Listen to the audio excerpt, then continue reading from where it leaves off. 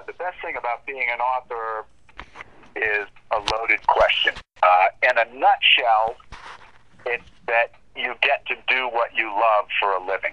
Uh, in my case, that's storytelling.